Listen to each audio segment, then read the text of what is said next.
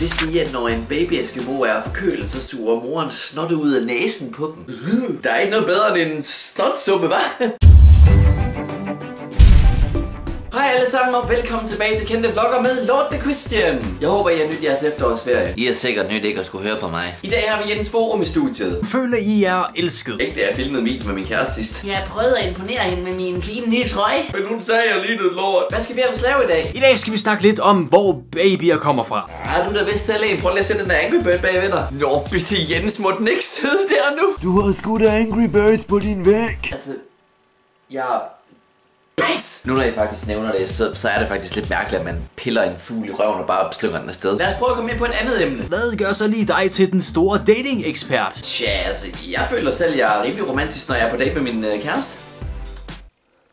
Hvad? Vil du ikke trække stolen ned for mig? Det kan du sgu da selv gøre. Oh. Når vi nu er inde på date-emnet, hvad, hvad, hvad synes du, der gør en uh, date god? En date handler om, at man skal lære hinanden at kende. Ja, men det har jeg prøvet. Jeg tog min kæreste med i biografen en gang. Vi skal finde nogle gode pladser, så vi kan se ordentligt. Skat, har du set, hvor stor skærmen er? Det skulle da pisse ligegyldigt, hvor du sidder. Jeg hader virkelig at omgå sådan nogle dumme mennesker som render rundt i sin bedstemors tøj. Den næste i studiet er Helena fra Sina og Helena. Hej alle sammen. Hej Helena. Åh, oh, det er en mega god sang, det der. All you need is love. Okay. Nå Helena, hvad er du så for en fætter? Eller kusine, fordi du, du er selvfølgelig en pige, men...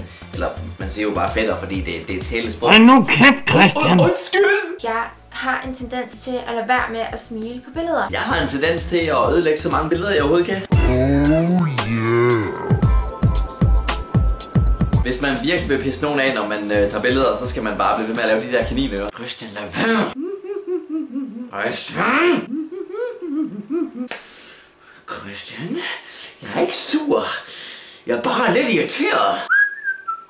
Andre ting, du vil dele med os? Jeg har en storebror. Altså, højdemæssigt har jeg også en storebror. Ham og jeg har længe haft en diskussion om, hvem af os, der er højst. Det er mig. Ej, altså, han, vandt i sidste ende kampen, men jeg vandt slaget ved at sige... Nå, Kasper, ja, du, du er måske højere end mig, men du ser op til mig. Vi er nået til Benjamin Jønsson. Velkommen til, det er blevet fredag. Jeg sidder og skrev det her søndag aften, Benjamin. Hvorfor er du lige skulle sige, at det var fredag? Nu fik du mig til at tænke over, at dagen efter, der var det mandag. I dag, der vil Benjamin gerne ramme sådan nogle ting op, man kan gøre, hvis man er rig. Købe en dværg som tjener. Ej, seriøst, en dværg. Han er så lille, at du skal bøje dig ned efter maden. Det, det magter jeg fandme ikke. Det penge ud af vinduet.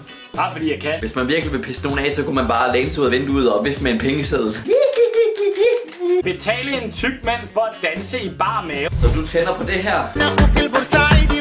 Ugens potentielle er YT-drengene. Jeg går ud fra, at YT det øh, står for YouTube. Det vil sige, at være nederen, hvis det bare var ordet yt, de brugt. Som om de mener, de selv er lort og skal yt og pisse helvede til. En af dem virker til at være virkelig feminin. Kan du ikke prøve at sidde normalt i stedet for sådan her? Hvad sker der også for dit hår? Jeg ved ikke, om det er fordi, du prøver at stoppe regn, for jeg tror fandme ikke, det hjælper. Ej, jeg burde nok hellere promovere dem ordentligt, i stedet for at stå og gøre grin af dem her. Tjek dem endelig ud nede i beskrivelsen, og husk endelig at kommentere, hvad I synes, der skal være næste uges potentielle. Og det var alt, jeg havde for denne gang, drenge og piger. Jeg håber selvfølgelig, I nød jeres ophold, jeg håber, I nød videoen. Jeg håber, den gav jer grin, og hvis den gjorde, så er I velkommen til at like videoen, dele den med en ven og kommentere, hvad I synes om videoen, og selvfølgelig subscribe for fremtidige videoer. Det vil også være fedt, hvis I vil tjekke beskrivelsen ud. Der står min Instagram og Facebook og alt muligt andet. Endnu en gang tusind tak fordi I så med, og tusind tak for jeres besøg. Vi ses i min næste video. Det næste billede er fra min far igen, som er det her billede. Og du var inde i slottet, fordi... Ja, jeg var inde i slottet. Ja, jeg spørger, hvorfor var du inde i slottet? Det er fordi, jeg vil gerne have min egen slot.